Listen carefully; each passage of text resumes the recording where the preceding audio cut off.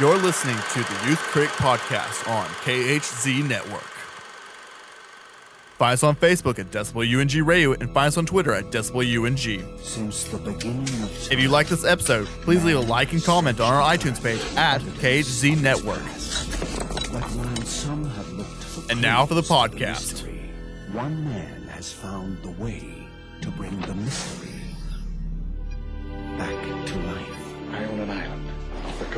coast of Costa Rica. And I've spent the last five years setting up a kind of biological preserve. Here, on this private island, science has defied evolution. Where do you get a hundred million year old dinosaur blood? Genetics has mastered creation. We've made living biological attractions so astounding that they'll capture the imagination of the entire planet. And extinction is a thing of the past. Welcome to Jurassic Park. Hello, everyone. Welcome to the Youth Critic Retrospectives. I am your host, Kel Smith. Joining me today is Joseph Pawlawk, Hi, I'm Joseph. and today we are going to be discussing the Jurassic Park franchise. This would be where the uh, T Rex just started howling. hmm All right, so I love the Jurassic Park. That like that was one of the original movies that I went to a drive-in theater to. That and The Lion King. Did we have drive-in theaters over here? Well, all right. Let me rephrase. I saw it in California Oh, in the drive-in theater. You know, Okay, okay, okay. All right. It, it was it was good. Um, it was big production. It made All the crazy money. amount of money for how much was the budget. The budget for the movie was. I, I think it Especially was. looking back. Yeah, yeah. Looking back, well, no, even today, I, I think after after everything's said and down, said and done, it grossed like one point oh two billion dollars in its lifetime, and for that that would be ridiculous money for today for a movie, especially with a budget of what like sixty million dollars, sixty three million. Sixty-three million dollars, and it made worldwide. Uh, and this is also just all-time gross because Yeah. it came. It had a couple, had a couple other re-releases. Um, Yeah. uh, one point one point one billion dollars. Yeah. I, I, I read on the line a few days ago that it was 1.02 or something. But that, Yeah. that's a ridiculous amount of money. Now, obviously, like all sequels in history of mankind, the other movies did not gross that that kind of money, but they were all successful in their own right.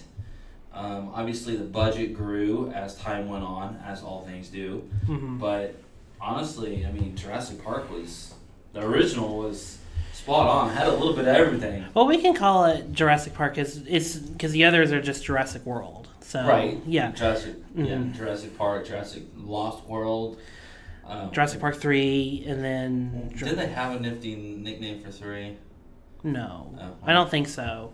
And then the yeah, and then the two new ones. The new one that's already come out, Jurassic World, and then Jurassic Fallen Kingdom. Jurassic World Fallen Kingdom. Yeah. Mhm. So Guess they, yeah, and we'll get to those eventually. Um, so, uh, so what is you described a little bit of your history with seeing it at the drive-in, but what about like the other films and like how did you come to Jurassic Park? well, I mean, who wouldn't? It was like in the '90s, '80s, and '90s. Steven Spielberg was still like He was God. he was God. Uh-huh. So even me being in, in 95, and I don't want to tell you how old I am, but I was still a relatively young kid, and my my dad was like, "Hey, remember remember this movie and this movie?" And I was like, "Yeah." Well, the same guy that made that mo- those movies made this movie. I was like, "Yeah." Let's go. Let's go.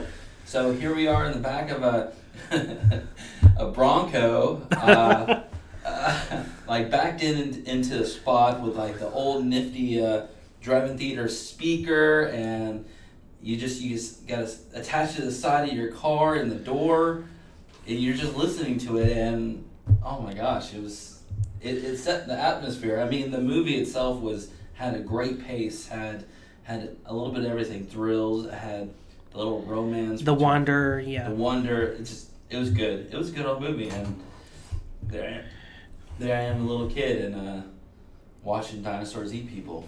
So Yeah, my history, because I'm significantly younger than you. Uh, they don't know my age either. Ouch.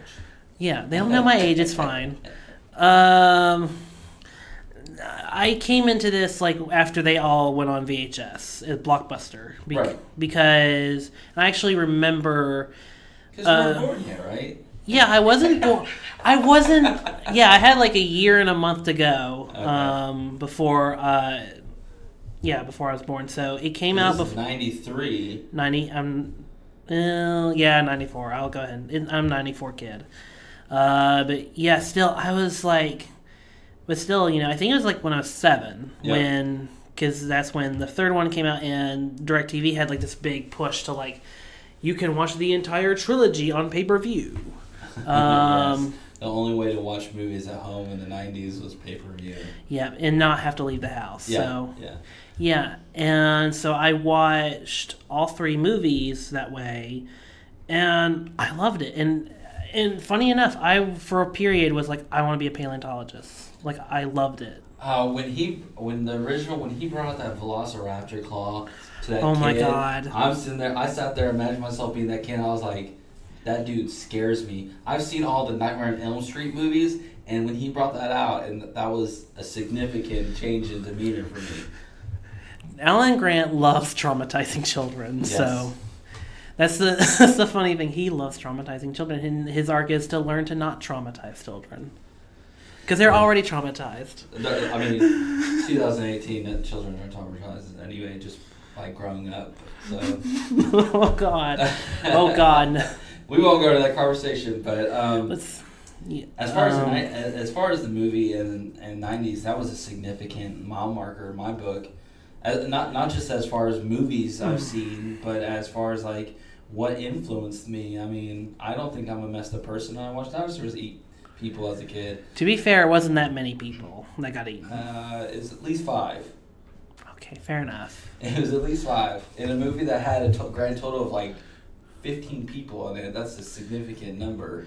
Yeah, that's the thing. Uh, you know, getting into the first movie already is the movie is very. It is looking back. It's very small. It's very small and contained. It was well written. That was It the- oh yeah, yeah, yeah. Sure. Yeah, sure. But uh, as I was saying, and I'll, I'll repeat it, in the 90s, this was still the time where the people would hire the source material writers to adapt it to movies. hmm And I think that was a big influence on the quality of the transference from the, the novel that the source material was to the book because the same write, the writer was the one who also wrote the screenplay for it. Right, and, and and also Michael Crichton was already a screenwriter and filmmaker beforehand. True. He had writ, he had done Westworld, the original original Okay, I Westworld. was, I was about to say, man. Uh, yeah, he Westworld is an old movie, uh, 1973 movie. So, Yeah. and he had just he done that. So, and he actually knew Steven Spielberg from a, from the 70s. So, uh, because I think uh, the Andromeda Strain was Universal was a Universal project Yeah. at one point. yeah. Uh, so so they knew each other, and that's kind of how the project came to be. Is uh, and that's basically the history of the project. And so Michael Crichton did have some history with it. He wrote like the first few drafts, and then David Koepp came in and kind of did the polish, and that's Yeah. and and then it took like three or four years to get the movie going because they were trying to figure out how to do the uh, dinosaur effects, especially for the wide shots, because they knew they were going to have to heavily rely on Stan Winston's uh, effects, Right. and so but they didn't know what how to do like the wide shots of the dinosaur walking past the camera. They didn't quite know how to do that except for stop motion or go motion. And then uh, ILM Industrial Light and Magic was like, "No, we have a Oh. way." I was about to say they they pulled out. That was that was good. They did real good between the uh, little digital effects that they could provide. Most of it was animatronics. Right. And it was, yeah, and that's the thing people don't realize is there's only like five minutes of CGI dinosaurs in the whole movie. Uh, and well, yes, dinosaurs, and they also provided the uh, the graphics for Grant or not uh, Grant. Um, the the creator of Jurassic Park when they did the little little ride explaining how DNA and Oh, okay. they The, the little animation Yeah, with the yeah, DNA yeah. guy. yeah, which for its time was really good. I mean, the movie itself. I mean, it was a two-hour movie in Right. 1993. Yeah. It, for for being in the 90s, it had a lot going on in two hours that made it feel like it was not two hours.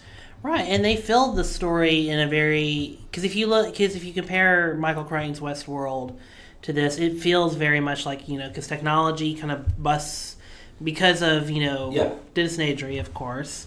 Well, But- well, that that brings in a good topic, uh, conversation. How does Jurassic Park, a '90s movie that was two hours, which is um, most of its time, hmm compared to two hours movies now, that sometimes you're just lost because there's there's two hours of movie and you don't really know what happened Or better yet, you're just bored. or bored. Yeah, Like, th- does does it speak to quality of writing? Does it speak to what I mentioned earlier? it's not only the quality of writing, but it also speaks to the quality of directing and editing because Yeah, they're yes, because they're yes. because the way I I love how this movie is just cut together, even though. Uh, I mean, there's definitely. It's not perfect. Oh no! I mean, there's But- definitely some continuity issues. Like yes. There's Yeah. like I mean, not not to get nitpicky, but there's the you know egg, you know the hand where or the medical medical arm where the egg was supposed to be, and then it disappears in the next Oh, shot. yes. Yep. Or uh, during the T Rex scene where the T Rex is supposedly you know gets out of the fence, and then you know a few shots later we see like Alan and Lex. They're they're trying to scale down the wall, and below them is like trees and whatnot. We're like, so how? And then you had to suspend disbelief for, or, or at least tell yourself a story about what happened to Samuel L. Jackson. Oh yeah, I mean, Like it just he died, but yeah. uh, what? I mean, it's in the book, but then again, you don't want to rely on the book when you're watching a movie, Right, it's supposed to be able to tell its own story, right? like all movies are, and that leads me into other movies of today that I, I don't think it does it does that. Like, um, what what's the biggest movie? And you know what I'm about to mention, Star Wars. Ha, okay, I know. Which one? The newer ones. Oh. The newer ones. Well, which well, there's four of the newer ones. All right, uh, specifically the Last Jedi. Okay. Where the the studio is blaming the toxic fandom, and the director Rian Johnson is telling the fans that they need to know the source material to understand the movie. But why? Movies should be able to tell their own story, and if you tell people, "Oh, you'll understand this better if you read my six books I wrote," so go buy those. But, that, Um, but that's what I'm saying is, how, how does a movie from the 90s wrap itself around like that and tell its own story, whereas a movie in 2018 can't do that? uh, uh, I won't. I'm not, I, I don't want to defend Last Jedi. I'm tired of talking about it. And, so- yeah, and it's not. A, I'm not bringing it up to discuss it. I'm bringing it up But to I- compare but you're- versus the 90s. But sure. Now, But sure, I mean, yeah, I mean, there's, a, but then, but there's still a lot of movies that you know are adapted today where you're just confused or whatnot. I mean, I'll Yeah. go to Warcraft. yes. Um, oh wow, yes. I can't Yes. believe I remember that movie. Um, or Assassin's Creed, or I shouldn't pick on just video game. Uh, Those, yeah, those are video. Games. Or Divergent, the Divergent, movies, okay. like you know, like why, like yeah. I mean- Eragon. oh, I barely remember that. movie. Wow. Wow, I pulled that one out. That one had some bad storytelling. I can't believe anyone remembers that movie. I own it. I, I'm bad I'm sorry.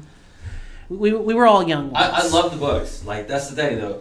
I went into the movie thinking, oh, this is gonna be exactly like the books, and it was Mhm. nothing like the books. And my furiousness knew no bounds.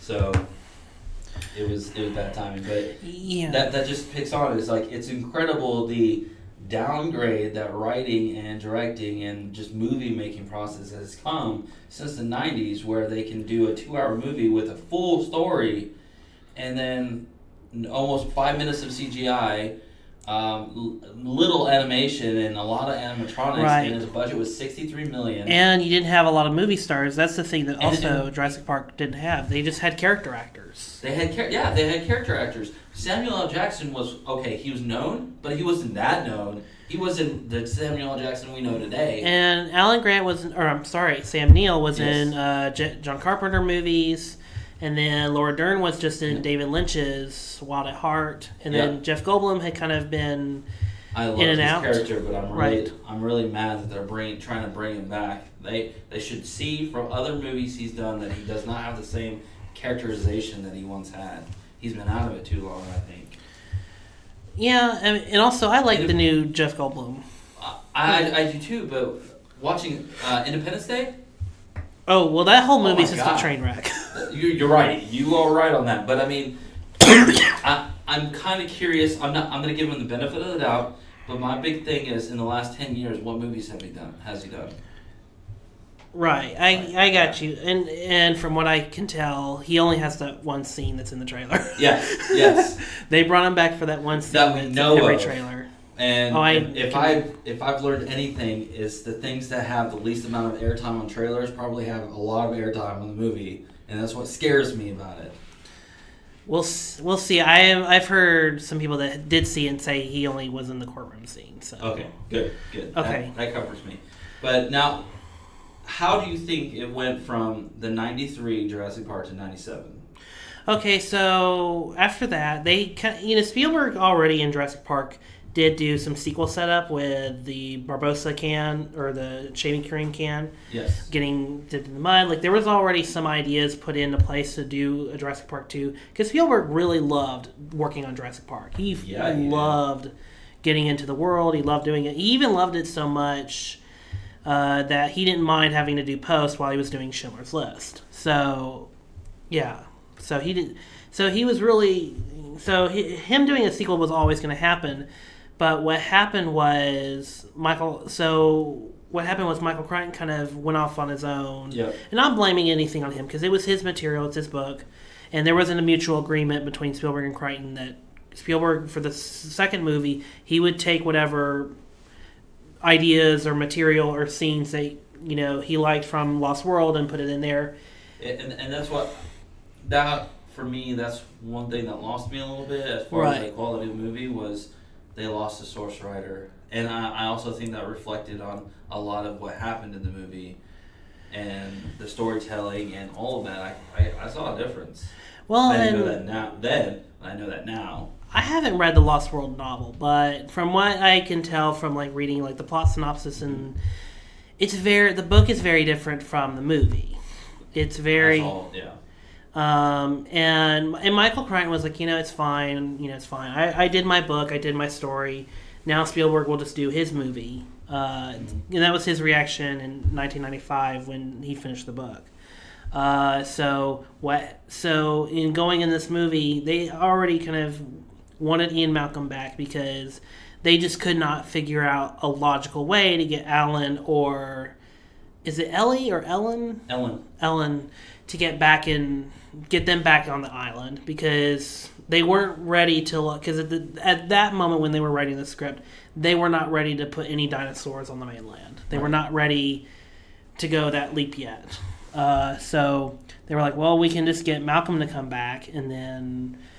So if through you know kind of you know some retconning and whatnot with the character, they figured out a way to get Ian Malcolm back, and then through plot convenience. But the problem with Lost World is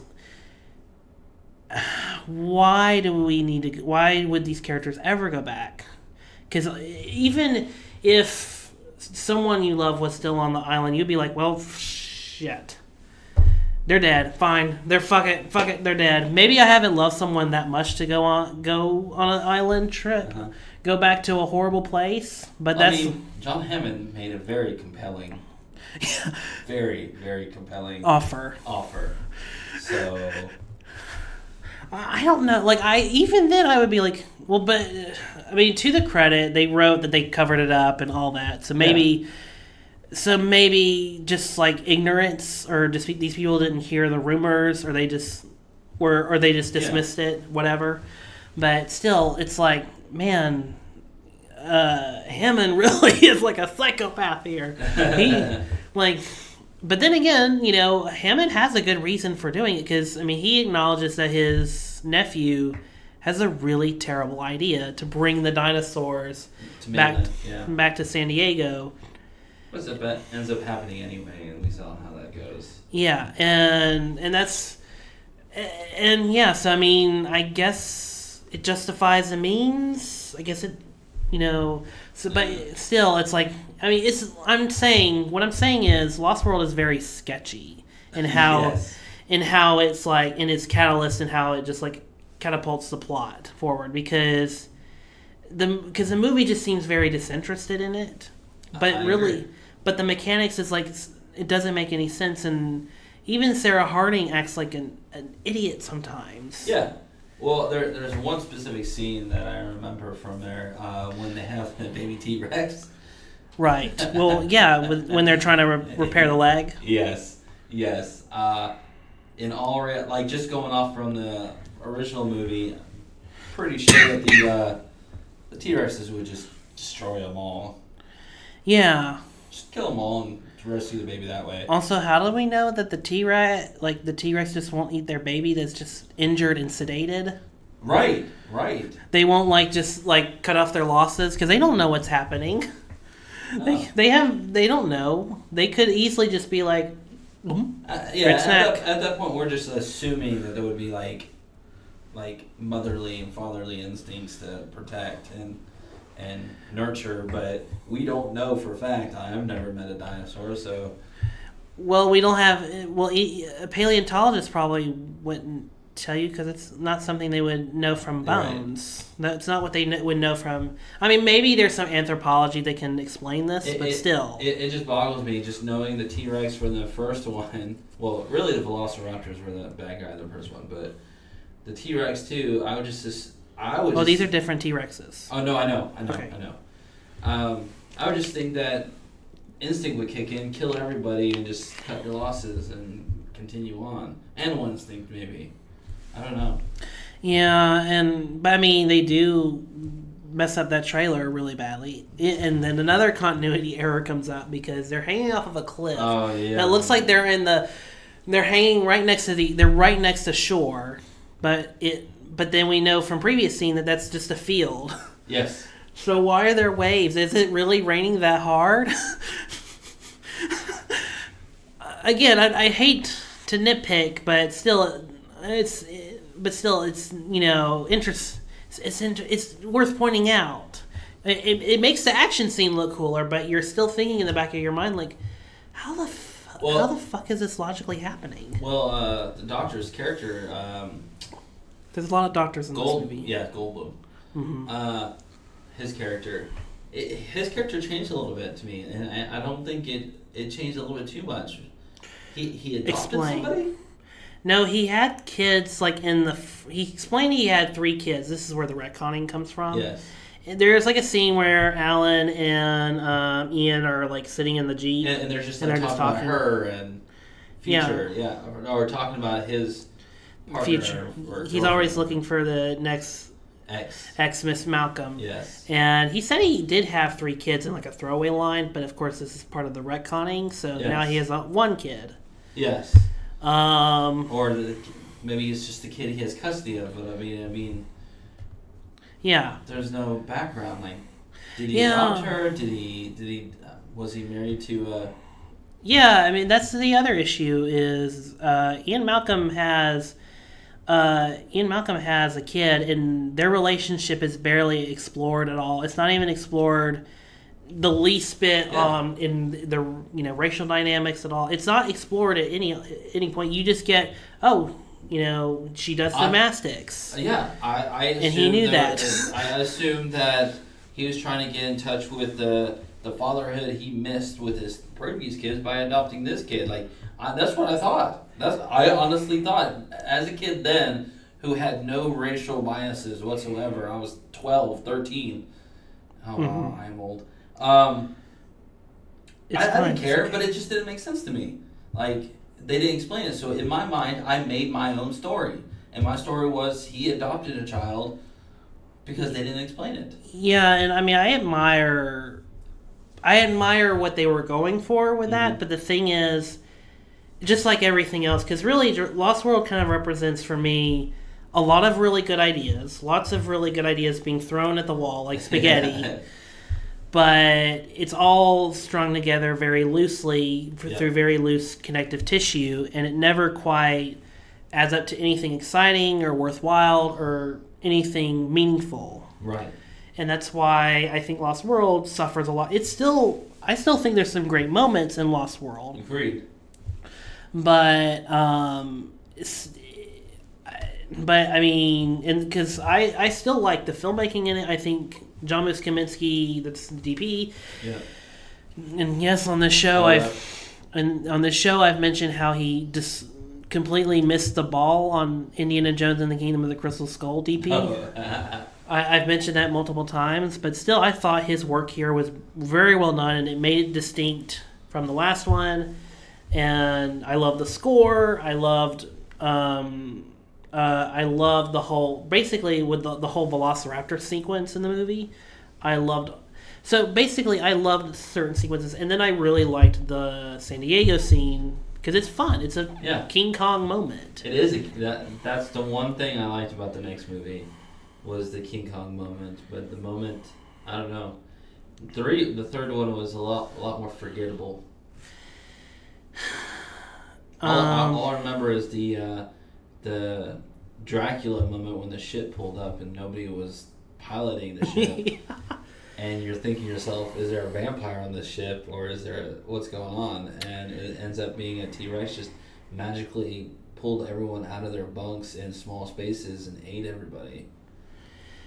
um. That, that's what that's what it was. It was just Yeah. a T Rex. I think one theory I heard, and it actually sounds a little bit more plausible, is that, and this could be its own little movie, Right. is that on the way there, some velociraptors, like before they launched, got on the ship or Uh-huh. snuck on, and they ate most of the crew, and the only way they could, like, get the velociraptors away from, like, the surviving crew is that they, um, is that they just lure they one of the one of the guys to sacrifice himself and put them in the T Rex so the T so the Velociraptors would chase after them, and then the T Rex would eat him and the other two Velociraptors, uh, or uh, the other Velociraptors, and then the guy would before he dies like uh, closes it, and then that's how it happened, and then they just didn't have anyone to power the ship.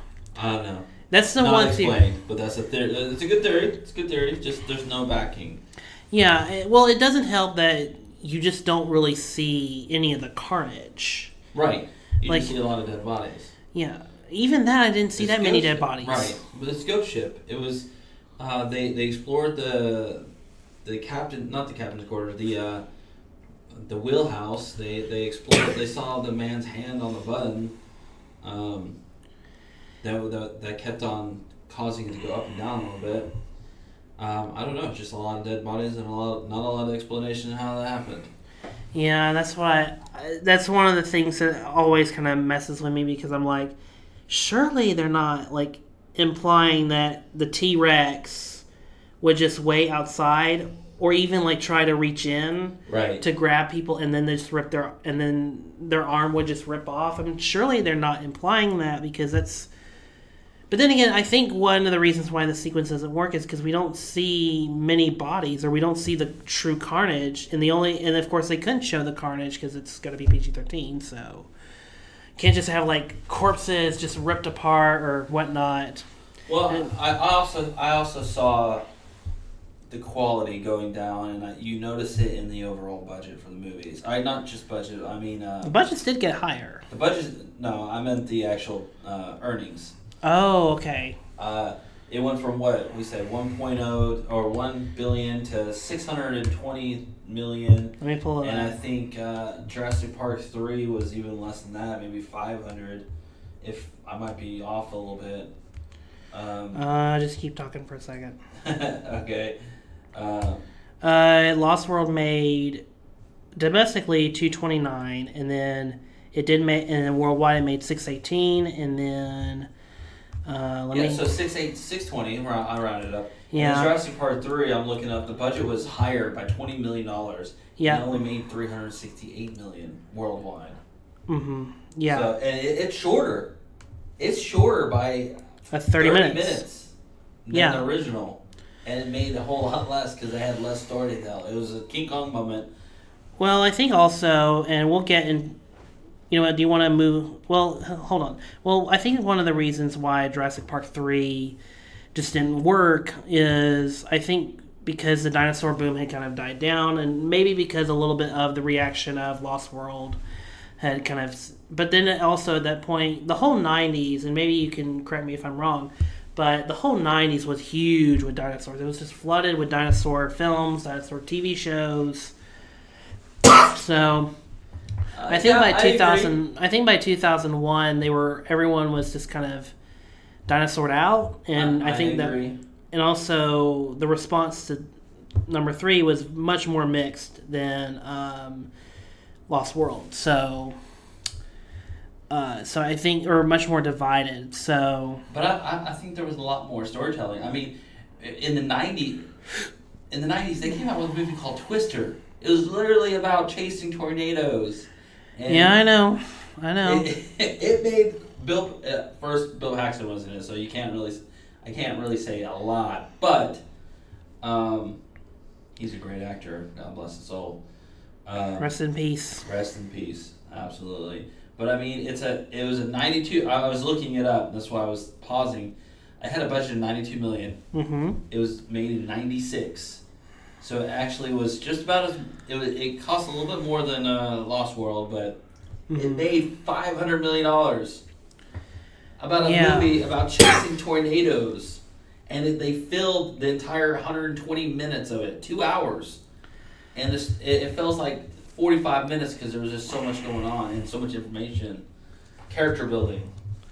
Yeah, and uh, I think also in the '90s you could do a lot. You could make stories about a lot more because finally now we had after Jurassic Park we had finally reached the technology to do it.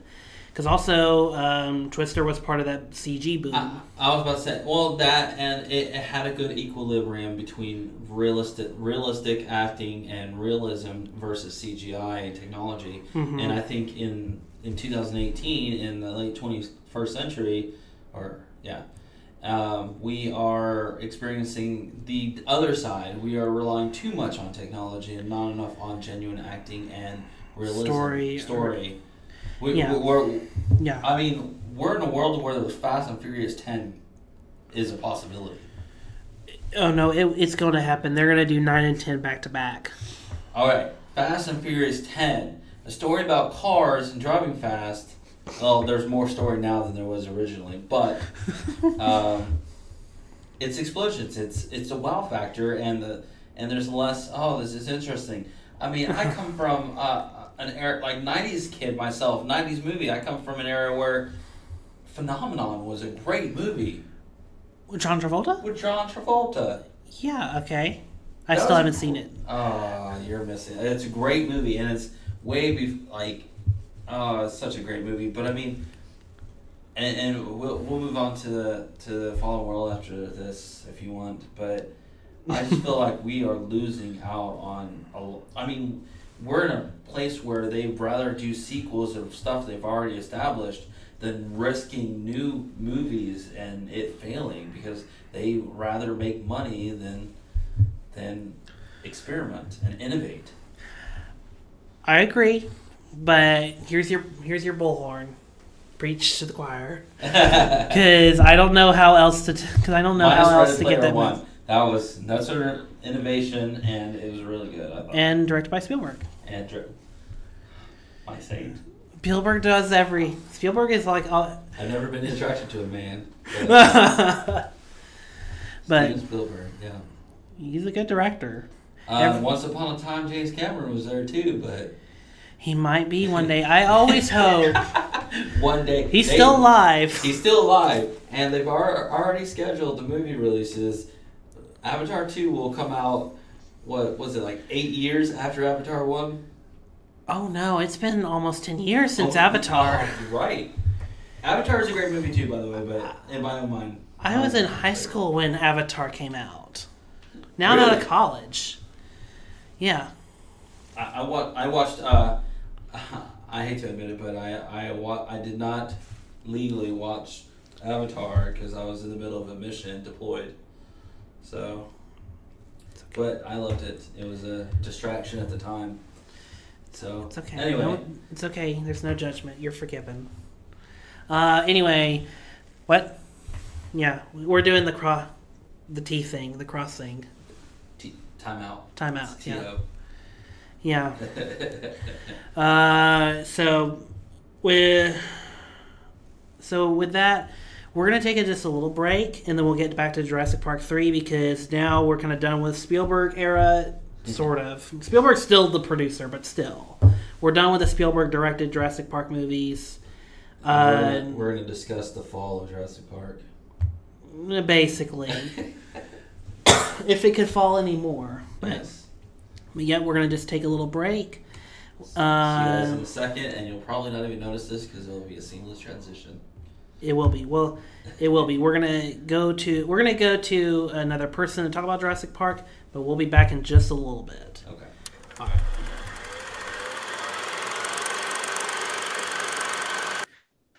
All right, welcome back. We are here with James Riz-. Is like, Yes, uh, you're so Brazil. Brazil, Oh, Brazil, We'll Brazil. slide. Yeah, Brazil, yeah, we'll let it slide. I'll get it correct one of these days. yeah, you probably won't. I've known people my entire life that still can't say it. Oh, oh gosh. But but James, today we were discussing the Jurassic Park uh, movie, and uh, in the end, um, We'll talk a little bit about the the sequels just as a capper. But for this part, but for this portion, we're just talking about Jurassic Park. So, uh, James, what's your history with um, Jurassic Park? I have a long history with Jurassic Park. I read the book when I was 10, almost 11 years old. I went, I got home from school one day. This was, I'm old. This was nineteen uh, ninety. 190, 91, 92 around there. I want to say probably around there. And I got home and my parents made me read all the time. This was back when you people read. And I came home one day from school and there was this book with a dinosaur skeleton on it on my kitchen table. And I said, What is that? And they said, It's a book. And I said, Thanks for sharing. And they told me it was about dinosaurs coming back to life and there was a like a zoo with dinosaurs. And I said, I have to read it. So I took the book. I read it in a couple of weeks absolutely loved it. Uh, then my parents said, "Oh yeah, and there's a movie." This is you know this is before the internet, obviously. This is before anything. I had no idea what was going on. They're like, "By the way, there's a, a movie coming being made about it." I was like, "What?" And that was like a year or two after that. And so I saw the movie on a friend's birthday. We all went to go see it. It was it wasn't like opening night. It was probably like the Saturday or whatever. This is back before you had to pre-order tickets and you can get in the Saturday afternoon for a matinee for a movie. And we got in and we watched it. And truth be told, I was disappointed by the movie. What? I got home. I got home. My parents said, "How was it?" I go, "It wasn't as good as the book," and I was I was very disappointed. And then I went to go see it again with my parents, and we all left, and they're like, "Yeah, they left that." Like we were just talking about the book and, and uh, comparing it and whatnot. And then I saw it again months later. It was still in the theater months later. Somebody wants to see it, so I saw it again. And I was still like, "It's just not Jurassic Park." Then I was delivering newspapers, and the newspaper company I delivered for gave me a movie ticket for free at Christmas time that year to go see Jurassic Park for free. So I saw it four times in the theater. And I watched it, and I was like, yeah, I guess. As time went on, um, I was able to separate it more from the book. The book is still, for me personally, uh, it is my second favorite book I've ever read in my entire life. Christmas Carol is number one. Jurassic Park's number two. Legend of Sleepy Hollow is number three. Those are my top three books of all time. And so I've always had the trouble. Now, The Lost World, I know we're going to talk about later, but The Lost World was the opposite, where the book, I was like, well, that was garbage. And I actually preferred the movie to the book. But that was my experience with Jurassic Park. Is I was the, the only other movie that ever hit me like that was when I was in uh, in the first grade. We read Charlie and the Chocolate Factory. And right after we watched Willy Wonka and the Chocolate Factory, and I remember it ended. I turned to my teacher and I said, I didn't like it. Uh, they're like the two most loved movies of all time. They're the ones that I've been the most disappointed with in my entire life. James, maybe you should not read the book beforehand. that's uh that's something that I well see now that I'm now that I'm old, I've learned to separate the book from movies when I watch them now. But back then, I I just uh, you know I especially since especially in Charlie and the Chocolate Factory's case, it was literally like we finished the book and the next day we watched the movie in class. Like it wasn't like I had time to not think about the book; it was fresh in my mind. So, but these are movies that over time, obviously, like I said, I learned to separate them, and when I got into film, especially, you start to appreciate them for what they were, for what they are. But yeah, but that was my experience. But I did see it. I did see Jurassic Park four times in the theater.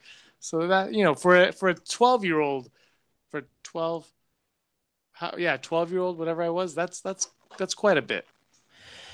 Yeah, I so my history is I the first when the first one came out, I did not exist yet. uh, so no excuses, no excuses. Yeah, I, I, I didn't I didn't exist. Uh, and then I was three when the f- second one came out. So logically, my parents thought it was a good idea to skip that one Mm-hmm. with me. And then um, and then when the third one finally came out on VHS and pay per view, I finally watched all three movies. And as a seven, seven, eight year old kid, I loved it. I loved, loved it. I wanted to be a paleontologist right after watching the first movie. Mm-hmm. I just loved dinosaurs, and I and this was also during the time where I was like getting into the the kaiju films like Godzilla. Um, so I was just I was enamored by giant monsters and giant lizard looking things. And uh, so I, I really loved uh, Jurassic Park and and my feeling on it um, let's see eight 17 years after watching it um, it's still a classic it still works it's like jaws the shark is still the shark still works Jaws is like my favorite movie. Uh, yeah, you know, I just I've I I own all four of the Jurassic movies, and I watch them all. I just yeah, I I, I love they're great movies. Like they're just fun. Like they're, they're great movies. Yeah, it's yeah, and I liked yeah, and what I loved about Jurassic Park was that it felt it's that it felt authentic to what would actually happen. Mm-hmm. If because that because that's the thing about a lot of sci-fi movies, especially to, towards today, that I feel like have they all have this problem of they you know rely so much on the story they rely so much on the you know craziness or they want you to spend so much you know disbelief that you know that you know you just don't think that you you're just there for the spectacle. For me i'm i'm there for more of the story the science and i just and jurassic park like it, the science felt compelling and it was reasonably all like told like and it's all well paced and well edited because once we get through the wander we figure out what's happening what you know how the dinosaurs have come to be. And then you know, after enough like learning and debating we then get the chaos and then and then comes the survival and then the escape. And that's why i really love that order. Like i love that progressive or that progression order of of things that are going on of sequences of events and that's why i re and to this day i there's still there's some issues that have come up now having seen it for the like the 100th millionth time um but still i thought jurassic i thought jurassic park was wonderful and no i have not read the book Ooh, you know what? I was talking to somebody who commented on the Rebel Scum podcast, the podcast I do, and they said they prefer the movie to the book. So, uh, you know, maybe there's something to seeing the movie before reading the book. The book, the book is a lot more wordy. well it's michael crichton Michael Crichton is uh, he was uh, I I've, I think I've read. I've read most of it. I own most of his book. His medical books, which I can't remember what name he wrote them under, he had uh, phenomenal stuff. He's a, such a tremendous writer. Uh, I do miss his books a lot. That what I like about Crichton is that he's a brilliant person and that he's just always thinking ahead Mhm. of the time. because I mean, you look at something like Westworld and his other movie Looker. They're both movies that are like discussing ideas that wouldn't even be debated by other brilliant people for like another decade. Yeah, So, he was a he was a brilliant mind for sure. hmm So, what was it in the multiple times uh, of watching Jurassic Park? Did you finally like? What did you finally see in it that allowed you to like it? I think when I was younger, it was just dinosaurs doing dinosaur things. Because when I could, when I finally was able to separate it from from the book and just watch it, I was like, because I love dinosaurs. I mean, what what kid doesn't, you know? So I was obsessed with dinosaurs for a while, uh, before way before the movie came out. And then when the movie came out, I was like, I love dinosaurs and watching it. And the raptor sequence, Clever Girl, is one of my favorites in, in cinema. And you know, the lawyer, obviously, those obviously, it's just it it's got to be that Spielberg magic where he just he knows how to do things. I remember, you know, one of the one of the things was I remember he said it was going to be very scary, and I never ever once in my life found that movie to be scary at all. And I think that is, and I mean this as a positive. I think that's Spielberg. Is Spielberg poltergeist aside or whatever, but he's not scary. He doesn't do things to terrify you. He does things to bring you on an adventure. And you know, even Jaws, which is considered by some, you know, a thriller or horror, whatever, and it, it- you know, it is. You know, you watch Quint get eaten alive. That's horrifying. But the whole movie is just fun to watch, and that's like a Spielberg thing with Jurassic Park. Is it's fun to watch, and even the Lost World, which people will say what they say, it's fun to watch there's just something he just knows how to like you said the pacing and all that there's just something that he does that he brings to it that he dares you to not not enjoy what's on the screen Right. And it's a it's a kind of a fun house horror Mhm. when when you think about it because Yeah. although I still think Jaws is a scary movie. Like the the opening scene Oh, is still like the most But- terror. but it's like but it's a fun but you know but once like after that it's just it's a fun movie all of a sudden you're like you're just having a good time until other things happen but it Jaws is the Oh. best movie Yeah, it's Jaws is my favorite Spielberg movie. Like Oh, it mine- is mine too yeah it's just such a it's such a good movie that uh it, it just gets better and better like i like i think on the my recent rewatch when i was in the theater like i started noticing some little like sound issues but that was that's the only time ever that i've noticed flaws in a Mhm. movie in the movie so Oh, so that was, you know, the 70s, and things weren't as perfect back then as they are now. Yeah, well, yeah, they were not perfect or fine tuned, but still, I, I'm still impressed by Jaws to this day, and yeah, and I'm, I'm happy that the shark never worked. I'm sure it wouldn't have been as good if the shark worked. oh yeah, I think, I think if we had, I think it would have become something like what a shark movie is today if, Yeah.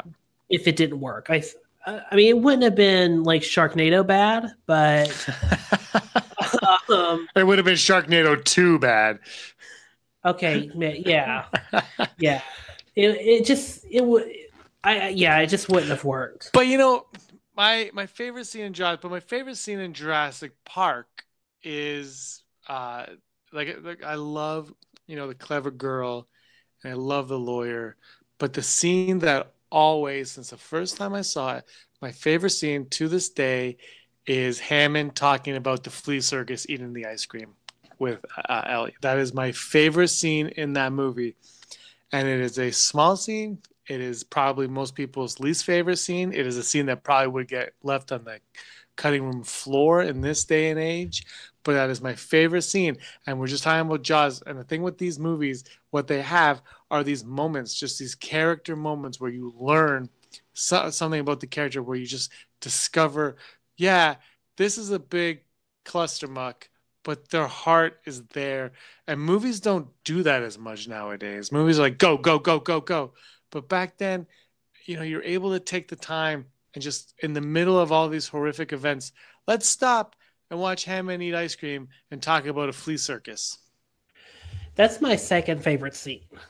My my favorite scene in the whole movie is when Ian when Ian is trying to talk to ha- Ian, Ellen, El- Ellen, and uh, Alan are sitting around and they're trying to talk to sense into Hammond into like, no, you've you've basically like Uh, you basically upended nature and you've basically taken control without at like lunch. yeah Yeah.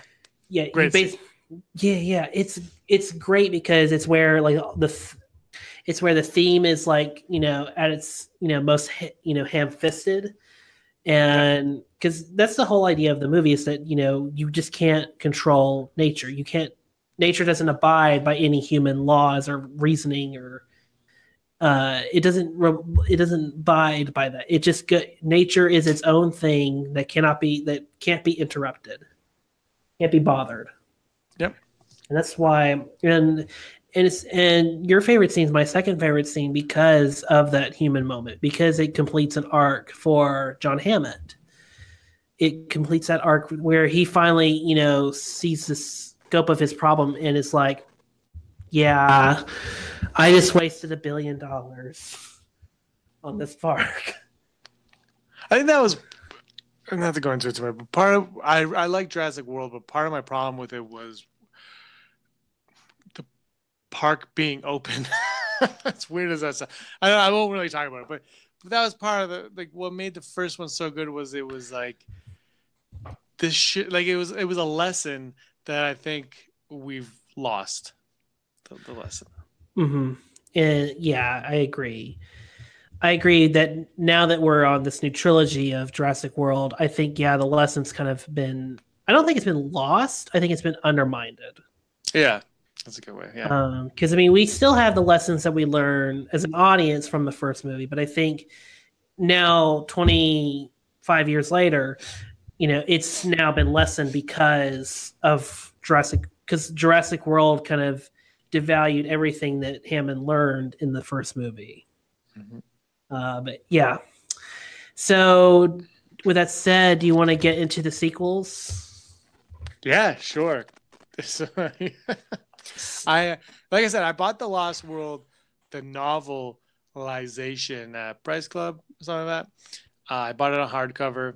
Spent a lot of money for. Uh, I was in the, the ninth grade. Spent a lot of money on that thing for a high school kid, and um, read it and was very underwhelmed.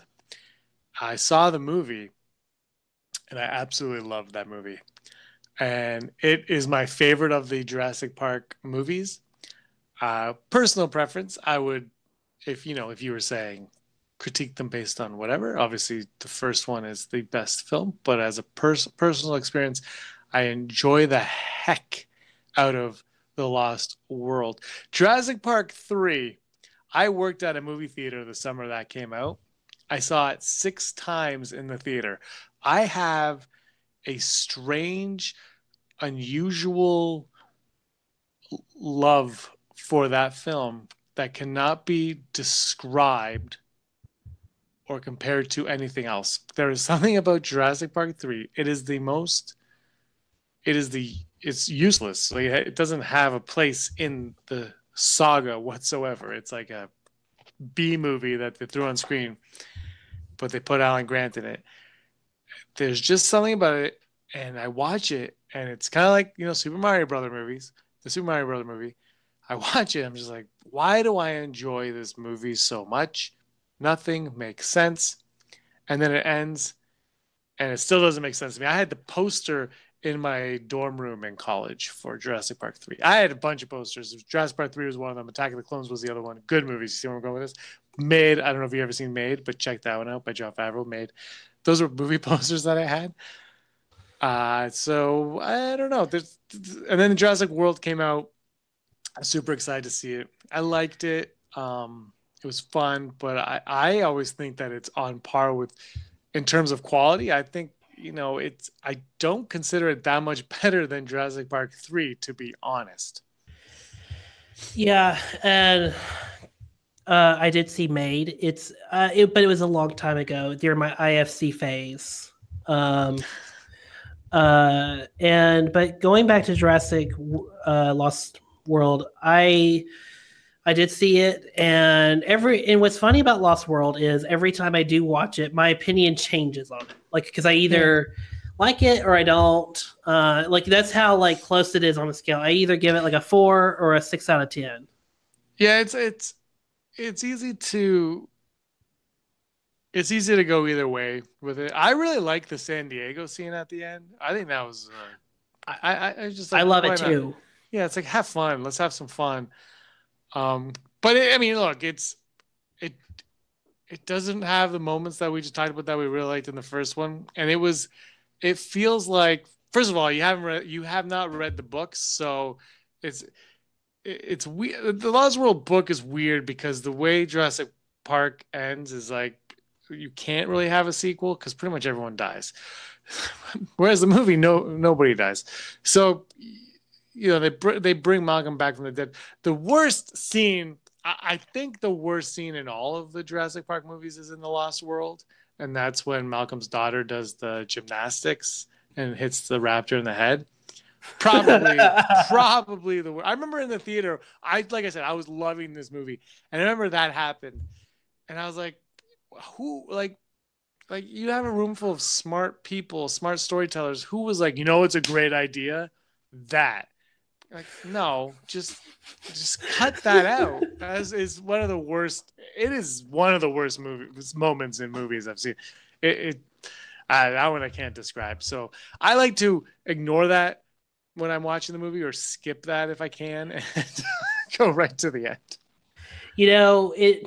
I always chuckle at that scene because I know how many people hate that scene, but it never has bothered me. Like, Really? it- well, it just makes logical sense. She knows gymnastics, so I think it would make more sense if the raptor ate her foot. yeah, or or like maybe grabbed on and then she swung it. You know, out Well, of she sw- she swings she swings too perfectly. I think is part of the problem. It's like she's like the gymnast of the year. You did, they cut you from the team? She's an Olympian. Yeah, apparently. she didn't see her talent. Uh, yeah, The fourth movie is actually Jurassic Park Four is going to be all about her making Yeah. it to the Olympics, and then these new dinosaurs from Fallen Kingdom show up. um, but but well, but I mean, yeah, it's not a bad. It's not the worst moment. It's I know it. I know it's very. I know it's really bad. It's just I, it never bothered me because I know. I know. I know it's just. I know it's just not. It's it's not bad. It's not it's not a bad scene. And then, but yeah, my. Do you hear that? What? Hey, uh, hang on just a second. Okay, it stopped. Do you hear me now? Yeah. Okay. Hang on. And then, and then Jurassic Park three. Um, it's it's an okay B movie, like you said. Um, and then Jurassic and then Jurassic World has. Uh, for me, Jurassic World just has that issue of it feels like a studio mandated movie, even though the movie is super clear that it wants to be anything else but a studio mandated sequel. Like it clearly has this, uh, you know, hey, we're not, you know, we're not, you know, we're we're we're not, you know, we're not, you know, product placement. We're not, we're against the product placement. We're against all the studio tie-ins and whatnot. And but the movie, just for whatever reason, it's like it just never comes off as that. It still just comes off as a studio mandated sequel with you know huge stars and you know and it just kind of loses it kind of loses sight of what Jurassic Park was. Well, it's weird because the first Jurassic, like, and they try to do things that the first Jurassic Park did. So in Jurassic Park, you have the kids whose parents are going through a divorce, and they go to the they go to the island to kind of get away.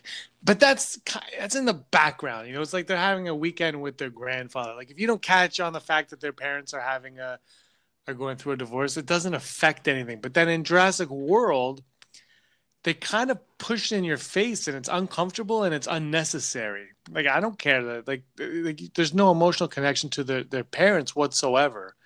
And they just kind of bring it up halfway through the movie. Like, well, why? Uh, like so that you could talk about something. So that, that was a problem. I have a few other problems with the movie, like why that gyrosphere can go out of the park and just drive around wherever it wants. I feel like if you were to open up a billion dollar park, you would have restrictions on where those things could operate. that's, Absolutely. That's what, that was one. Um, I, I mean, it's a, but it is a fun movie. You know, you can't fault it for being anything else. Uh, it, it is it, like you said. It, it knows it knows what it is in a lot of ways. Mm-hmm. Um, but yeah, it's it's it's definitely not perfect. Yeah, it's it. I it's my least favorite, but uh, it's my least favorite of the four movies because, but that's but two, three, and four are kind of right next to each other in terms of quality because they both they all have issues, but they're all all their issues are different. Yeah, and they're all like you know different. Like Lost World, it's Lost World basically just feels like to me Spielberg wanted to do the sequel, and he didn't probably really like the book. I, I think I have this feeling that the book was written just so they can have a sequel based on a book. Yeah, because I I was kind of comparing the because I read what the plot was of the second book, and I was like, this doesn't really sound like the movie at all. No, it's not really. I haven't, you know, I haven't read the book in a long time because it's not that great. But it was, it's just, it was too hard to do a, a sequel to the book because of what happens in the first book versus the movie. Like they're, they're very, they're different. They're too different for for for them to stay on the same path is part of the problem. And I just think part of the problem with sequels too is it's like we got to go big, we got to go big, we got to go big. And do you have to go big? Do you, do you have to go big? That's that's the question that I have for most sequels. Is why do you always feel the need you have to go bigger? Because it has to make more money and the audience has to be wowed. So I don't know. Yeah, yeah, and that's kind of just my feel. Is the third one's just kind of a forgettable B movie, as you said, and then the fourth one is just uh, it, it's it's there, and I hope Fallen Kingdom. I hope Fallen Kingdom is better. Do you have any before we get out? Do you have any expectations for Fallen Kingdom? I uh, my friend saw it um a couple nights ago. Okay. Uh, depending on when people listen to this, I don't know, early June, mid June, somewhere around there. I want to say the 11th yeah. of June he saw it. Okay. Uh, I told him I don't want to hear his opinion of it, and I hung up the phone on him. I have my tickets bought for June 21st. I'm going on the Thursday night screening. I my expectations are just I'm just looking for a good time in the theater, and I uh, I, but I do hope I enjoy it more than the first one, or the fourth one, depending on what we're going to call them. The more than Jurassic World, and I have a feeling I actually have no idea what to expect because I'm not a huge fan of these hybrid monster demon things they're creating. Uh, and I know the third one they say they're going to go back to having actual just plain old dinosaurs. But I'm, I'm this one's supposed also supposed to have the most dinosaurs of any of the four movies before it. But does that mean they're just on the island and we see more movie, dinosaurs while they're on the island, or is it after the island? I don't know. Uh, so I'm hoping just to have a good time, just enjoy it, and I'm hoping that I hear that theme music a lot. Sounds good. So uh, we so James, we got to wrap up. Where where can the good people find you? You can find me all over the interwebs at Petzafina, P E W Z A F I N A, where I tweet random crap. And, and also Instagram random crap. And you can also uh, check out my Star Wars podcast, Rebel Scum podcast, on the YouTube. Nice. And you Nice. All right, we're gonna just go back to the we're gonna go back to the main show, and thanks James for being on the show, and we'll be back with you soon. Okay. Thanks for having me on. All right.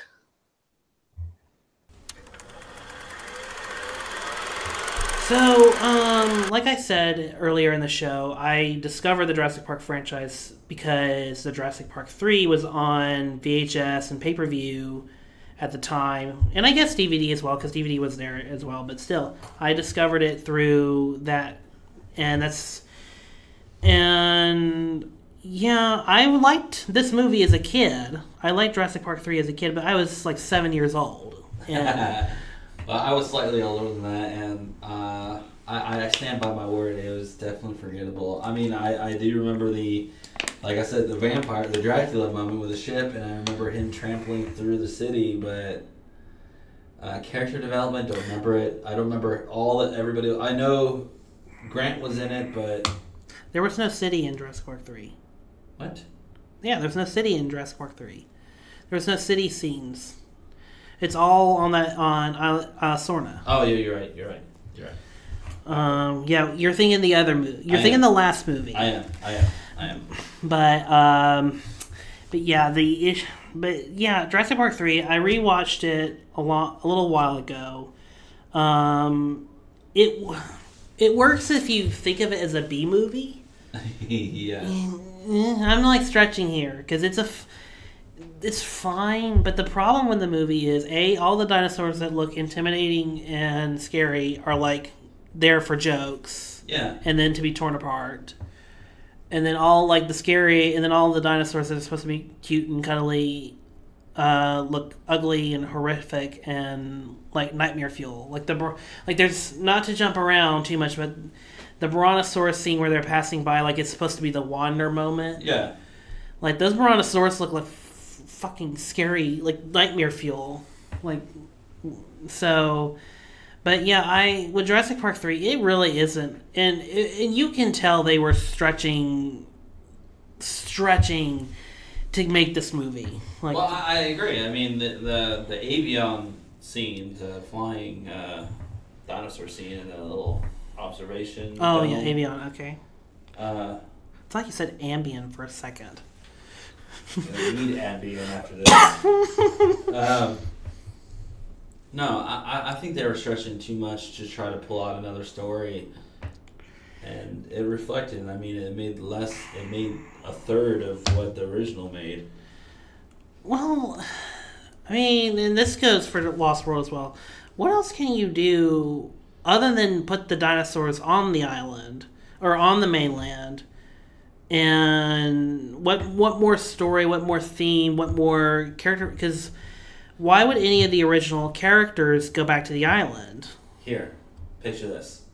It's Jurassic Park Lost World, okay? It opens up with them in the helicopter leaving the original island, Uh huh. and you see a, a, an aquatic dinosaur get into the water. Suddenly, now there's an aquatic dinosaur in the water that could preempt. They have the ability to transport, or they, we can see a, a, a shark or a, Or Megalodon. or megalodon, or we, it could be the great white shark moment of from the '70s and just make it a dinosaur. That could have been a sequel, a third one. Probably be more interesting than the third Jurassic Park.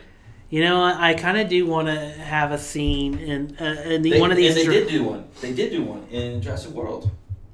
Right. Well, I was about to say I, w- I would have loved to if the first one ended with like a megalodon shark just swimming under them, and then Alan Grant goes, "Hammond, you dumb fuck, you old crackhead." Why did you, why did you make a megalodon shark and then put it in the open ocean? But it was for the, uh, it was for, it was gonna be an exhibit. It was a new Shamu. It was gonna be my SeaWorld exhibit. Oh no! That's what I'm saying. Is like, the megalodon's heading to Costa Rica. yeah, yeah. Costa Rica does not exist anymore. We're having to shut down the Gulf of Mexico. Yeah. Uh, but no, but that that would have been a good that would have been a good opening scene, just like a little nostalgia. Wow, I can't say it. Nostalgic. Yes, or nostalgic, yeah. Um, of the of the original, just get a, little of that magic back by showing that helicopter scene, and then like maybe have them uh, Grant do a or both of them do a guest appearance. Maybe Hammond, he was still around, and just looking out, and you, you just see a dinosaur uh, jumping out of the water, and you're like, oh. Oh shit. And then Hammond! yeah, and then the movie could have progressed into, uh, well, Costa Rica, and here we are in Costa Rica, like investigating this Godzilla-looking dinosaur. Yeah, and Progressed into Godzilla. You're welcome. Crossover. Damn it, Hammond, you made a go- you made a li- giant lizard. You're the one that made Godzilla. Why would you do that? Hammond, what the fuck? Yeah. I wanted, I wanted a lizard exhibit. We didn't, we didn't have any room to put it. I did say miniature.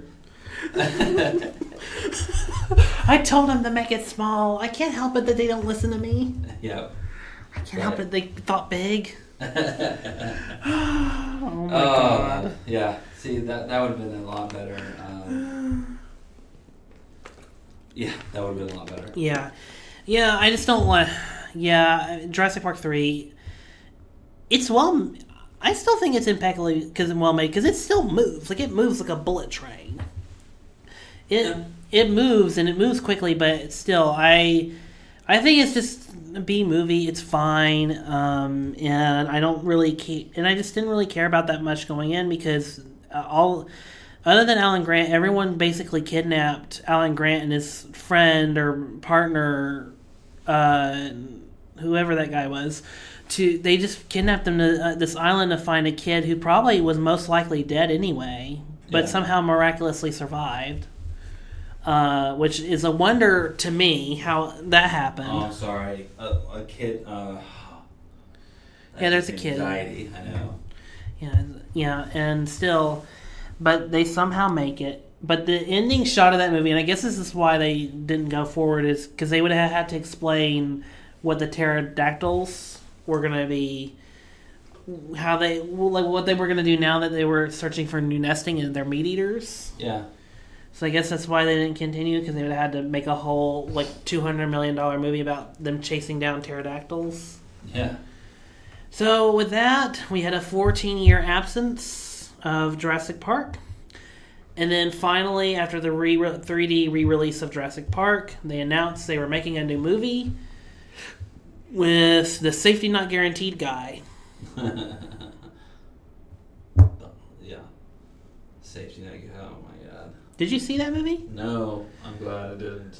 I heard. I heard rumors. It's um it's a fine movie, but it's like it's definitely like if Spielberg made a Sundance movie. like one of those Sundance movies like Juno or something. 500 dresses of summer. 500 days, Days of of Summer. Yeah, that. But like the but kind of bland and not really that interesting. Um. So and through that he somehow enter into Colin Trevorrow. I, I, I think they did a good selection of actors. I mean, Oh yeah. they But- got the comedy right out the window. Like that was such a good choice. It's a good, it's a fine choice. The problem with Chris Pratt, and it goes to the whole reason I don't really like the movie that much, is that the whole movie, the whole movie is basically this riff of studio filmmaking. Like, Yeah. like you know, hey, isn't like you, like we can run things well. We can run a franchise. We can run a park like Yeah. they do in this movie. We can run it very well. We can, you know, run it. We can, you know, keep it secure. We can ma- manage it quite well. However, you know, the more you like, the problem is people get underwhelmed after a while. So it's both an audience and a studio problem, cap, an audience and a capitalistic problem where we got to keep making, we got to up, keep up in the ante, and the more you up the ante, then you tip the jar that is nature, and uh, and then nature just goes, you know, amok, wreaks havoc, and that's an interesting Nature- idea. Nature always finds a way. Life finds a way. Life Finds a way. Um, Um, I, and don't, I don't know. I, I think um, I've harped on it a few times. I think they could have done better, and they chose not to. I agree, and and that's where I kind of fall with Jurassic World is that it's a movie where it has a great idea, but in It the but- execution, and oh yeah, There's so many parts in it that I'm just like, I yawned.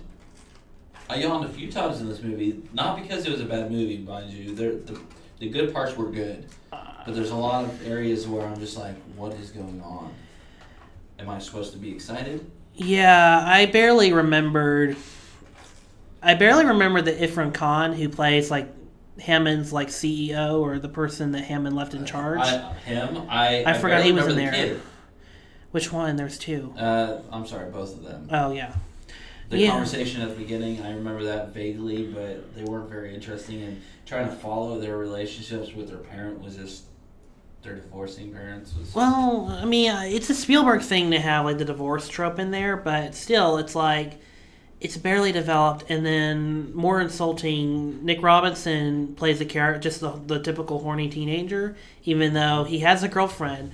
But he, but when he gets on the island, he just basically just gets horny for anything that moves. yes. Um, so you're, and that's his character. Um, and then the little brother is like an the quirky, maybe sort of autistic character. As they Ah. do finger, as they do the Finger finger, quotes. quotes, Air quotes. air quotes.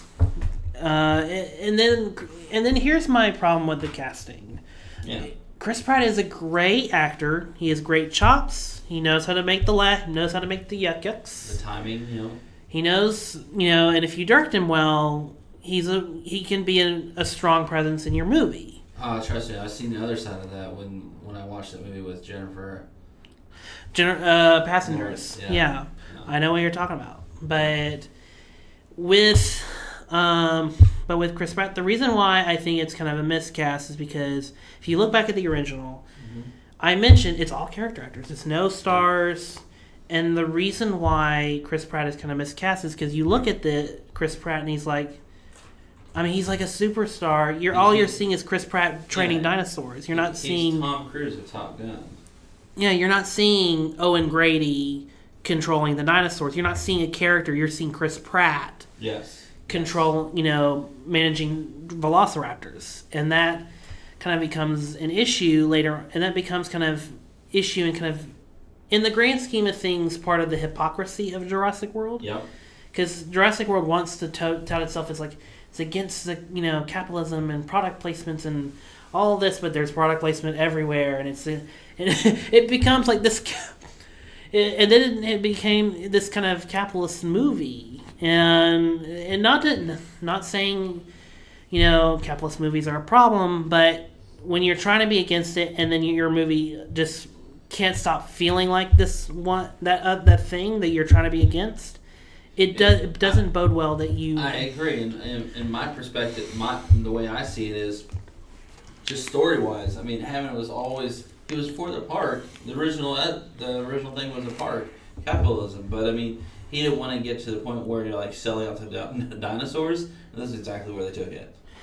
and also at the end of Jurassic Park Hammond learned his lesson to not build the park like and and even so he wanted the nature to be preserved Right. so why would in In the end, in the end he'd be like Ifrit I don't know the, the character's name so I'll just name it Ifrit Khan my dying wish is to have the park rebuilt rebuilt and be successful. and be successful do it for me old friend and That just sounds like a family scheme from the uh, the grandson.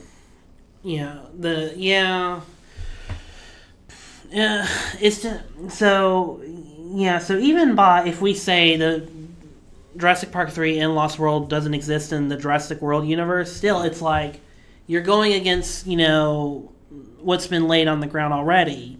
So I I don't want to bash Colin Trevorrow, but you kind of but you but you say yourself a fan but you miss a lot of the you know but you miss a lot of the, like the essentials of why Jurassic Park worked and why you know the first one worked and why this franchise was peering out you kind of miss the point it's like saying you're a fan of the great gatsby but you miss the point of you know what what it was trying to be. Right. So Hmm, that sounds a lot familiar of a movie you're tired of talking about. Oh, please, I don't. Please, I can't. I can't do it anymore. No, I'm tired of dealing with Last Jedi. I said Hey, it. I'm said tired not of me. it. I'm You ti- said it, not me. I was just Oh, I'm tired of it. Solo too. So Oh, that was a, that was a slap in the face, and I'm really surprised they're blaming the fans and not Kathleen Kennedy. But uh, I, I promised myself and I promised you not to talk about Kathleen Kennedy. But I will have to say she did really like and she is She tied to this too. yeah she yeah She did good in the original Jurassic Park. I mean, She's a I'll good producer. She, she was only in a role of an assistant producer, like she was a co-producer. Um, no, the- she was like I mean, yeah, she was. I mean, she was the main producer along with Gerald Molen. right. Um, and then on the second one, she took an executive producing credit because I think Spielberg was also working on a couple other projects going Yeah. on at the same time. So she kind of had to take a step back and work on. I think she worked on Amistad. I'm not sure. Um, I, Either way, I, she- it's hard to keep up. Yeah, she's been attached to a lot, but she's the she's the focus of my ire right now. Well, and the reason why I kind of have to question Kathleen Kennedy is because she, and look, it's fine if you like safety not guaranteed. It's totally fine. There's people out there. I know people that like the movie, Right. But I look at that movie and I go, okay, just go make another Sundance movie. Keep practicing the work. Keep practicing your craft. Why was he? Why was he responsible for? Why did? Why in the? Why did, why was he responsible for Jurassic World when clearly there's still a lot more growth he has to go through uh, in order to make a hundred fifty million dollar movie? And and then on top of that, after the movie came out, he almost got to do episode nine. So, um, so yeah, I, I, and again, I'm not. I I shouldn't bash on Trevorrow because Trevorrow will be a part of the Jurassic World franchise for at least one more movie after Fallen Kingdom. Uh, uh, Um, but see how that fares. we'll we'll see. I mean, it's and we'll and I'll get to that in just a second. Um, but yeah, I was not. I was not the biggest fan of Jurassic World. Really, the only thing I liked about the movie was that ending fight with the Tyrannosaurus and the Veloc Blue You're and my boy, Blue. Okay, we'll get to that in just a second because I forgot to mention that. But yeah, the, I just like the ending. That was like that final fight is almost worth like a Reddit Yeah. for me. Like it's a really good. Like it's a really good fight, and it's all done in one shot. It's very well executed. Um, uh, and, and also it gave an arc to Bryce Dallas Howard's character Claire, because she had to kind of learn, you know, how she kind of had to learn that business wasn't all. Uh, she had to she had to learn that you know she had to learn that you know family is you know she had to learn that family is important, but also these are she's playing with nature, Yeah. I, I wish they would have done not themselves. products. Yeah, I wish they would have done themselves a favor and brought in one of the old. Old actors, Yeah. they probably E- will. Even as a you know goose egg, you know, or Easter egg. Sorry. yeah, Just, just like they're at the park checking things out in the background as you know things are freaking out. Well, I mean, Ian Malcolm was like a hologram for like a. If you just look Yeah. closely, Yeah.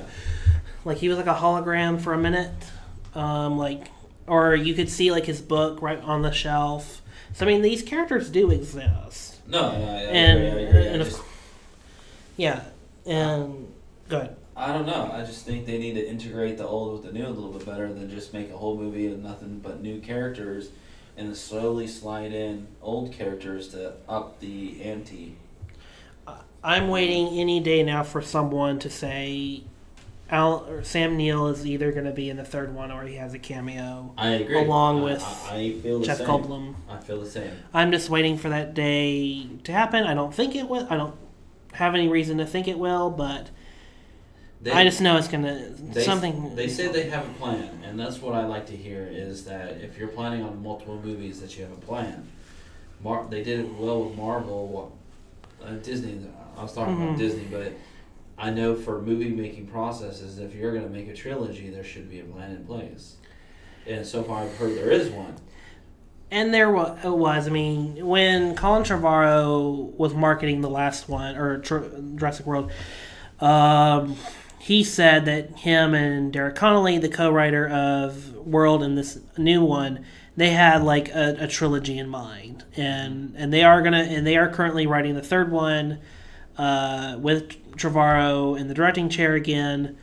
Uh, but yeah, it's they're they're all they have a plan, and we'll see more of that f- plan in fruition in a couple weeks. Really, in a week from now, um, depending on when you're listening, or even maybe when it just entered into theaters, depending on when you're listening to this podcast. Um, so, but yeah, it's gonna be. We'll see the fruition of it very soon, and hopefully, it's a good plan. I'm, Yeah. I don't want. I hope. I'm always holding out hope that these movies will impress me, but Well, tell me what your thoughts of Fallen Kingdom would be. uh, Are you going in there with expectations, and if so, what are they? What are they? well, I don't think I've made. I don't think I've made light of what I don't really like the story they've presented so far. Like so far, the movie seems to be about going back in to save the dinosaurs from a, a- an erupting volcano that just maybe either was active or reactivated itself. I mean, if you're planning a park, why wouldn't you? Let's Yeah. not look into geographical Yeah, anomalies. So yeah. Let's not look into it. So, um, so they're gonna save the dinosaurs. Or save as many of the species as they can, so and then maybe possibly relocate them to another to like Isla Sorna, or whatever. that, Um, but still, my uh, go ahead. that that leads me to the previous questions. Like they're just doing what I what I thought would have been a good idea for Jurassic Park three instead of what it was. I mean, all the dinosaurs are jumping in the water to get away from the lava. What what says Yeah. they couldn't just swim? Or better yet, let me even throw this out. Like, why are we saving the dinosaurs? They're a threat to our own human evolution, to our Save own the species. dinosaurs, save the world. just I just died a little. I just died. say a little uh, hero's quote: "Save the dinosaurs, save the world." You're welcome. You are absolutely welcome for that. You can use that all you want. It's just for you. Just for you. So, still, it's you know, th- and that's my thing is, and also, and then to make it worse, in the next trailer they bring up, well, now they are saving the species. They're bringing the species back to the mainland to sell them off to rich people, uh, uh, uh, which I'm like, even dumber. like, why don't like, why don't we just have like, why don't we just build a nu- a big nuclear bomb and just like have like what's a character that's very I, I, I feel like I feel like they got like postcards and uh, with a bunch of ideas. put them on the wall, and they took darts, and whatever postcard had the most darts at the end is what, what it went with because it doesn't make any sense. It's going exactly the opposite of what the original plan was, or the original idea that the lesson Hammond learned after the the first two movies. Uh, and I don't know now that he's passed, his children are being greedy. I don't know if they'll explain any of that, or if we just gotta. or if that. his just family is just completely out of it or yeah, that's that's exa- happened. exactly. InGen can be ran by just some corporate hack A corporate hack or a, a group of corporate hacks in a, hmm in a that are just trying to sell assets off to make up the lost image. Yeah, yeah. I mean, it, it could be anything, but I mean, it just. I don't know. They already did the bring it back to the mainland to sell it for money, but they did it with the original one with what's his face trying to sell it in the freaking uh, barber shaving cream. Right, and then They his and then nephew tried to bring the dinosaurs on mainland to have Yeah. a mainland attraction, And then they tried to. Um, InGen was there for the third movie too, sort of. sort of, but they were there. In So spirit, the- they were there. In spirit, yeah. But I mean, they've done the same story. That that tidbit of the story over and over again. They're trying to sell the dinosaurs for a monetary gain. Capitalism is terrible. Let's, let's burn it to ground. That's why I think Colin Trevorrow doesn't. He's just rehashing the ideas because you look at Jurassic World. It basically is Jurassic Park. Just now the park's World open. Is, yeah, I was about to say Jurassic Park is, or Jurassic World is Jurassic Park. now the park's just open. Now the park's open. It's And- open to the public, and then And Lost twenty years of innovation to make it the way it is. Yeah. Yeah, and uh, Lost, and then Same Fallen Kingdom, World. and then Fallen Kingdom is just Lost World, but um, they succeeded in capturing all the dinosaurs Yep. and brought them on the mainland, and now now they're gonna spend half of a movie to get rid of the dinosaurs. Yeah, I, I feel like it's the. I, I may be going a little too far with this, but it's going to end up being a planet of the dinosaurs. That might be the third movie. Just we're so stupid, or the characters in this movie are so stupid that they're like that. You know, the movie just ends with like like the same way Rise of the Planet of the Apes ends, just like Ah, as I raise my hand in anger. just like the, the the dinosaurs just you know start talking or some something stupid the mu- the mutant dinosaur can finally communicate and build a pack like caesar and then and then make a whole new like dinosaur pack or dinosaur civilization that's what will the third movie be Yep. I mean, uh, what what is it like? What is it? Modern day movies without like leading a trilogy into a new trilogy, just so we can make a little bit more money off of it. So I, I can see it. You're right. The third one will be dinosaurs rampage to the United States, uh, or whatever main main island they go to, and then it'll lead into a new trilogy. They'll think of ten years from now. Hey guys, we never explored the idea of dinosaurs ruling the world again. Let's do that. And it'll be it'll freak it'll be uh, Chris Pratt when he's eighty years old trying to get rid of dinosaurs. That's what it'll be. That's the next trilogy. You're welcome. Trademark. Called it now. why did you say that now they'll do it they'll, they'll do it it's been thought of. Let's do this. or worse yet we'll have to make that movie yeah. oh god I'm just saying. It's just uh, it just furthers explain that uh, Hollywood has lost its luster. Mm-hmm. yeah yeah Wow. Do we have any more? So, do we have any more things to say on the Jurassic Park franchise before we get to Fallen Kingdom? Uh, no. All right. Well, um, that is it for this retrospective on the franchise as a whole. Joseph, thank you. Do you have any like Twitter or anything to plug? Uh, I have a Facebook photography page, uh, Solitary Photography Georgia, and I do all that kind of stuff. I do uh, film events or uh, photography events for filming. I do photography events for models. I do it for uh, Dragon Con in Atlanta. I do Great. that a lot. Um, I'll be doing that this year in September. I actually have a contract with the magazine to, if they like them, they buy them. So. I'll have a link uh, to the Facebook page below uh, this podcast. Uh, Joseph, thank you so much. Uh, you can. F- You can- golf clap. Thank you. And you can follow this podcast on Twitter at the Youth Critic. You can also follow me uh, at Movie Kale. You can also follow the channel that distributes this podcast at KHZ Network. Thanks, everyone. We'll be back with the next retrospective, Last Action Hero. Yet, of course, but the park will open with the basic tour you're about to take. Hey, look at this. You see something? Dinosaurs and man, two species separated by 65 million years of evolution, have just been suddenly thrown back into the mix together. Can I touch it? How can we possibly have the slightest idea You feel that? what to expect? Since it's failing all over the park.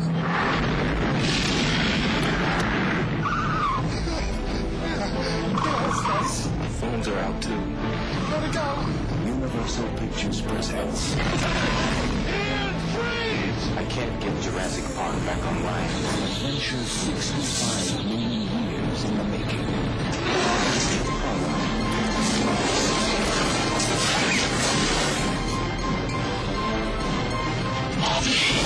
It's just a delay. That's all it is. All major theme parks have delays. When they opened Disneyland in 1956, nothing worked. But John, if the Pirates of the Caribbean breaks down, the pirates don't eat the tourists. You sure we're safe? Yes. Unless they figured out how to open doors.